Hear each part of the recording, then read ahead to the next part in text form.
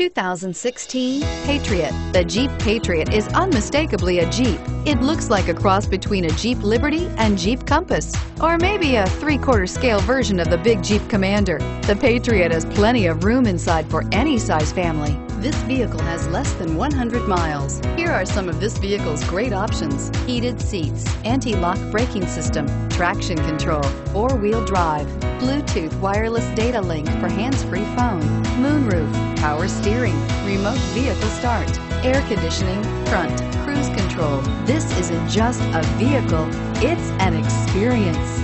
So stop in for a test drive today.